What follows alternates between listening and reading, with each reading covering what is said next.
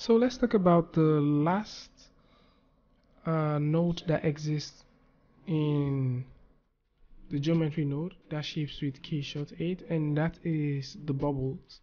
So before we get on with that let me go ahead and just simply apply a new material to this object which we have.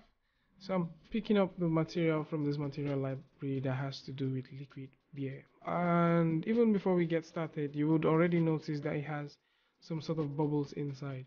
So I think it's best we just go ahead and pick something that is totally transparent. So let's pick up this glass and apply this glass to it. And now you see we have just this very empty void glass.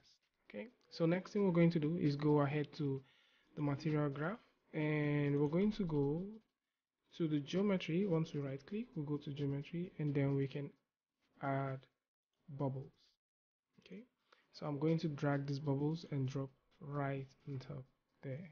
So once I attach these bubbles here and double click I can make decisions of what size I want to have. And most of these things are not real time so you have to actually execute them one after the other so that you can see what you're actually doing. Then next I'm going to increase the intent uh, the density. I can play with the uh, size variation a little bit and then I'll go ahead and hit the execute geometry nodes. So once I hit execute geometry node keyshot will go ahead and generate bubbles for us. So your first question is why would you use the bubbles instead of using the flakes? These two things work in different scenes.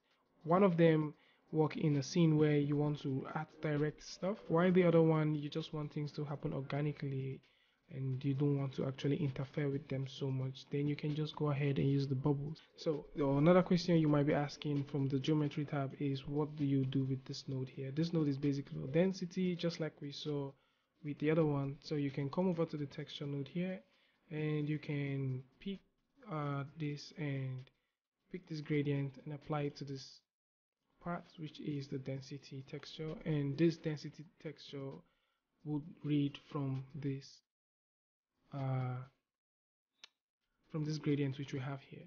And from here we can actually decide how much density we want and what part of the object which we are looking at. So with this you can see we have a very uh, different result. And if you use something like what we used earlier you, in the previous tutorial video you can also see that by just coming over and hitting this button we can also generate a different kind of density.